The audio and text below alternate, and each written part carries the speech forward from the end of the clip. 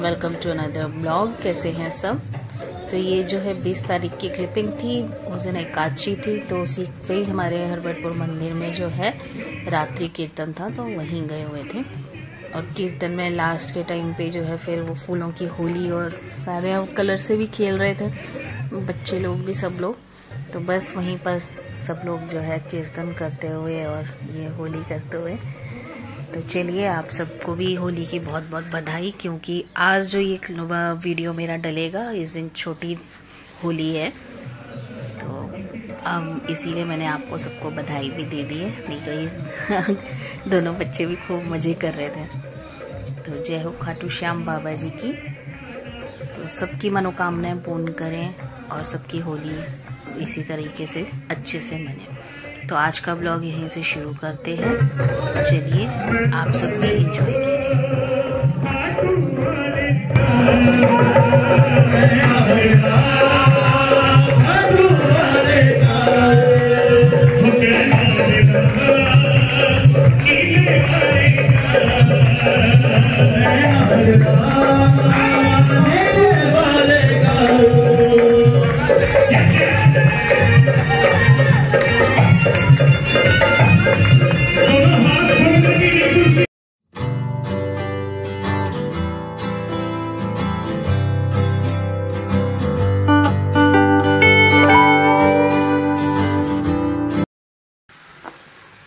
मावा तो मम्मी ने बना के दे दिया था मदर इन लॉ ने। बाकी बस थोड़ा सा इसको गर्म सा कर लूँ मैं एक बार, फिर ठंडा हो जाए, कर लूँगी। तो ये घर पे ही बनाया हुआ मावा है और पूरा प्रॉपर भून के भी दे दिया मम्मी ने ना। तो मावा हमारा बिल्कुल अच्छे से पका हुआ था, बस थोड़ा मैंने सॉफ्ट कर लिया। तो ये देखिए, ऐसे होना चाहिए आपका मावा एकदम गोल्डन सा। और बिल्कुल ये यहाँ लग नहीं रहा है। घी छोड़ने, छोड़ दिया इसने। ये मैंने किशमिश तैयार कर लिए डालने के लिए। लंबी वाली थी तो मैंने कट कर दिया। आप छोटी वाली ले सकते हैं। छोटी वाली होगी तो कट करने की ज़रूरत नहीं है। ये मैंने चिरौंजी ले लिए तो कोई कम पसंद करता है, कोई ज़्यादा। तो आपको कम पसंद है तो आप कम यूज़ कीजिएगा। और ये मेरा एक किलो के करीब मावा है। घर पर बना हुआ है तो इसलिए अंदाज़ा नहीं है बट लग रहा है मुझे शायद एक किलो से थोड़ा ज़्यादा हो सकता है। तो ये मावा है, देखिए इसका टेक्सचर इस तरीके से रेडी होना चाहिए। यहाँ पे मैंने बुरादा रख लिया है। अब मैं जब ऐड करूँगी तो मैं आपको दिखाती रहूँगी। मैं जितनी ज़रूरत होगी, उसी के हिसाब से जो है, नारियल का बूरा जो है, वो मैं ऐड करूँगी। छोटी इलायची जो है, अपने आप घर की पीस करके उसका पाउडर बना लीजिएगा। बाज़ार वाली में जो है वो फ्लेवर नहीं रहता, वो खुशबू भी नहीं आती अच्छी ना। और मैं क्या करती हूँ, मैं अगर आपको नहीं पसंद ड्राई फ्रूट्स डालना तो आप रहने दीजिएगा।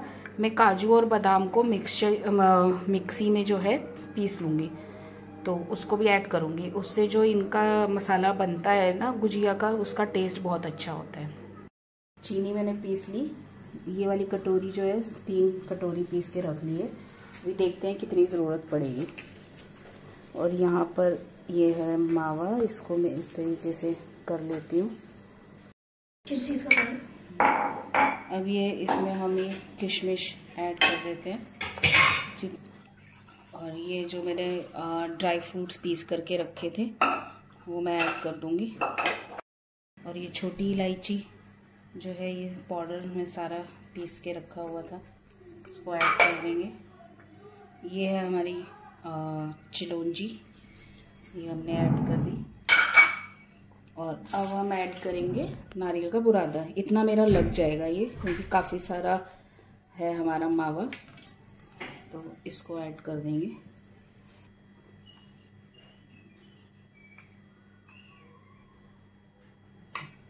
ये भी एक कटोरी डाल दी मैंने।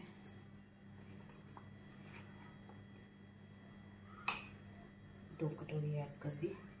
मीठा चेक कर लूँगी। चलो मैं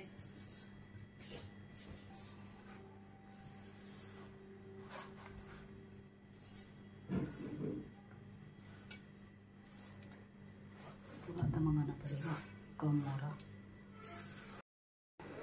मैं थोड़ी सी सूजी भून रही हूँ, हल्का सा घी डाल करके मैं इसको भून रही हूँ। ये इसमें काम आएगी अभी डालने के लिए। कई तो बिना बिल्कुल ही नहीं डालते हैं। तो आपकी मर्ज़ी है, आप डालना चाहें, मैं डालूँगी। नहीं तो वो खोआ खोआ सा फिर ना वो गुजिया ऐसे ही हो जाती है खाली खाली सी। तो ये है कि इससे थोड़ा सा भुरभुरापन आ जाएगा। तो अब अब जो है मैं गुजिया के लिए तैयार कर रही थी मैदा। तो ये तकरीबन मैंने तीन कटोरी मैदा ले लिया था। ये वाली कटोरियाँ हैं मेरी तो उससे नाप करके, क्योंकि ये लगभग आधा किलो से थोड़ा सा ज़्यादा मैदा था। हो गया था। तो तीन कटोरी मैदा निकला था उसमें तो उसमें मैंने फिर एक कटोरी घी जो है वो लिया था। तो थोड़ा थोड़ा करके एक साथ नहीं ऐड करेंगे और मैं थोड़ा थोड़ा करके मिला करके जो है इसको अच्छे से इसमें मैदे में मसल लूँगी। गुजिया जो है आप कोशिश करिए तो आ, क्योंकि घी में ही बनती है जो रिफाइंड होता है जो भी आप ऑयल यूज़ करें तो उससे ना वो हार्ड तो बनेगी बट वो खस्ता सी नहीं बनती। जैसे बुरबुरा जाने वाली, वैसी नहीं बनती है। और घी डाल के आप मोयन करते हैं जब गुजिया में या किसी भी इन सब चीज़ों में तो वो बहुत अच्छी बनती हैं। तो गुजिया में बस फिर मैंने ये पूरा घी डाला और इस तरीके से इनको दोनों हाथों से मसल मसल के पूरा इसमें मैदे में मिक्स किया। तो इस तरीके से आपको जितने घी लगे, आप उतना ऐड कर सकते हैं। गुजिया के लिए ज़्यादा घी भी देखिए, ये मेरी मुट्ठी बन गई। इस तरीके से होना चाहिए। तो ये हमारा तैयार हो गया था डो। जब आपका इस तरीके से घी प्रॉपर डल जाए उसके बाद गुनगुने पानी से जो है अपने डो को गूंदिएगा क्योंकि उससे गुजिया आपकी बहुत अच्छी बनती है। तो हमेशा ये ध्यान रखिएगा कि आप हमेशा उसको गुनगुने पानी से डो को तैयार करिए। तो ना ज़्यादा हार्ड करना है और ना ज़्यादा सॉफ्ट करना है। पर यह है कि अच्छे से गूंद करके उसको रखिएगा और फिर गीले कपड़े से ढक के पंद्रह मिनट दो कटोरी डाली थी और डाल दूँ चीनी। कम हो रही है। ये इस तरीके से इसलिए कर रही है, अभी पीस के रखी और हल्की की चीटी आ गई। ये थोड़ी सी सूजी मैंने घी में करके भून ली थी। थोड़ा भुरभुरापन आ जाए इसमें, वरना पूरा मावा ये आप नहीं डालना चाहें तो आप रहने दो। तो इस तरह से जो है मैंने और चीनी ऐड कर दी थी। थोड़ा मीठा कम था। और साथ में सूजी भी ऐड कर दिए। और ये सारा मिक्स करके रख देंगे। अब गुजिया बनाने के लिए ये एक लिक्विड हम बना लेते हैं उनको चिपकाने के लिए। तो इसमें मैंने चार चम्मच जो है मैदा लिया था और सिंपल आपका जो नॉर्मल वाटर टेम्परेचर पे रहता है, उसमें पानी मिला के ना पतला हो, ना ज़्यादा गाढ़ा हो। ये डो सॉरी लिक्विड तैयार कर लिया था गुजिया में लगाने के अब आप देखिए कि ये कैसे कैसे मैं बना रही हूँ। वैसे तो हर घर में बनती है और मैक्सिमम सबको आती है, बट जिनको नहीं आती है तो वो इस तरीके से कर लेंगे। इससे ना गुजिया नहीं खुलती। तो आप इस तरह से बेलने के बाद जो है इसमें रख लीजिए और चारों तरफ़ जो है इस लिक्विड को जो है आप लगा लीजिएगा। अब इसमें हम अपना जो है मिक्सचर जो है ऐसे जो ये सांचा का बना होता है गैप सा इसी में ही फिल करना है। कई जो होते हैं ना, ये बीच में ऐसे भी फिल करने लग जाते हैं। वहाँ पे डालने से क्या होता है, फिर आपकी गुजिया ना तलते टाइम फटने लगती है। तो जो हमेशा जो ये सांची की गहराई होती है, इसमें फिल कीजिए। ना ज़्यादा आपको कम फिल करना है और ना ओवर फिल करना है, क्योंकि कई बोलते हैं कि बहुत खाली अच्छी नहीं नहीं, क्योंकि जब आप जब ज़्यादा फिल कर देते हैं तो यही रीज़न होता है, तलने के टाइम पे हमारी गुजिया खुलने लगती है। तो ये ध्यान रखिएगा, ना ज़्यादा फिल करिएगा। और जब भरना है तो भरने के टाइम पे भी जो इनकी गहराई होती है, हमें उसी में ही भरना होता है। तो क्योंकि जो फ्लेवर आता है, वो इतनी स्टफिंग आप अगर प्रॉपर भर रहे हो तो उससे भी आपकी गुजिया का बढ़िया फ्लेवर आता है। तो जब निकालेंगे, तब भी आप अच्छे से जो है इसको ये देखिए, पीछे की तरफ़ भी खुल जाती है तो इनको आप पहले ही रखने से पहले इस तरीके से प्रेस कर लीजिए। और आप जब इस तरीके से सबको बना के रखते जाएँगे तो आपकी गुजिया नहीं खुलेगी। बस थोड़ा तलने के टाइम पे ध्यान रखिए कि बहुत हल्के हाथ से आपको जो है उनको पलटना है। तो तब इन चीज़ों का ध्यान रखेंगे तो नहीं आपकी खुलेगी। मेरी वैसे कोई भी गुजिया नहीं खुली थी। मैक्सिमम तो नहीं खुलती है, पर बच्चे जहाँ भरते हैं तो कभी कर देते हैं गड़बड़। तो मैं खोल, बनाते टाइम तलते टाइम ध्यान रखती हूँ तो फिर थोड़ा सेपरेट कर लेती हूँ उनको या फिर से लगा लेती हूँ, उनको प्रेस करती हूँ। तो देखिए ये, इस तरीके से देखिए, मैंने भी सिर्फ़ सांचे में मैंने फिल किया, जो गहराई है। तो आप सब भी इस तरह से फिल कीजिएगा। ये गुजिया बहुत ही टेस्टी बनी थी, ये मैं अपने ससुराल में मम्मी पापा को भेजती हूँ, क्योंकि भाई अब वो कितना करेंगे? तो मैं सारी जितनी भी चीज़ें मैंने बनाई हैं, आपने देखे हैं तो मैं हर चीज़ भेज देती हूँ, वहाँ पे दे के आती हूँ, ताकि उनको कुछ करना ना पड़े।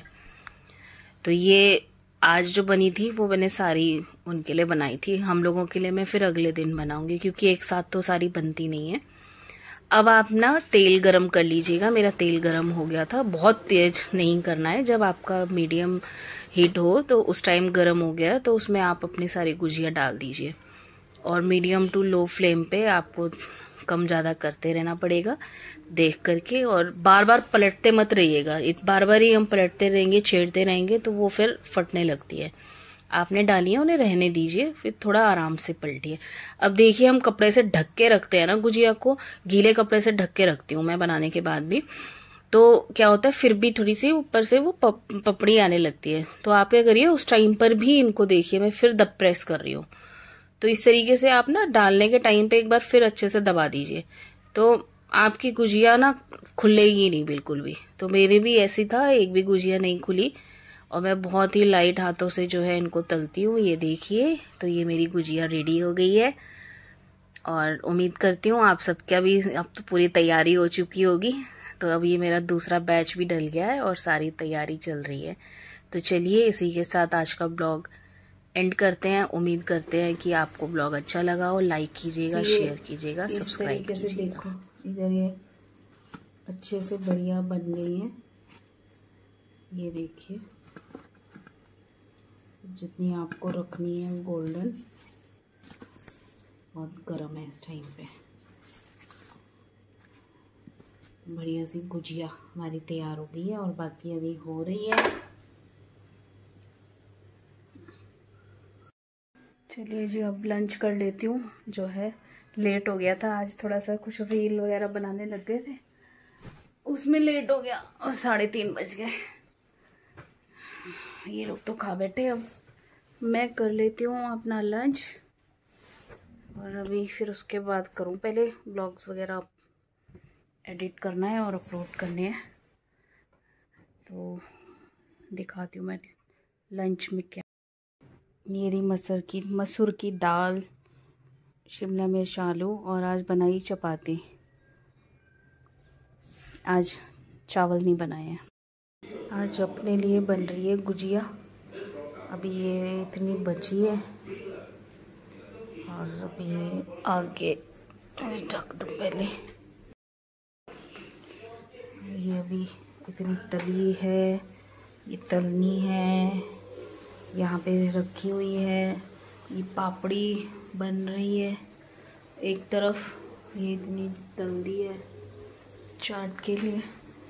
सब काम चल हैं अब दोनों एक साथ। लास्ट काम। ये थोड़ा सा और बचा है। इसकी भी बेलेंगे अभी। पहले इनको ज़रा रेडी कर लें। और अभी टाइम हो चुका है साढ़े ग्यारह।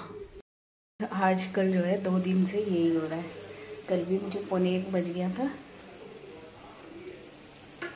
ये तो सो गए थे सारे। इन्होंने बनवा दी थी और बिलवा देने, भरने का काम कर दिया था सबने, लेकिन तलने में भी टाइम लगता है। साढ़े दस बजे लगी थी कल, मैं तलने लग गई थी। और इतना टाइम हो गया था, पौने के करीब।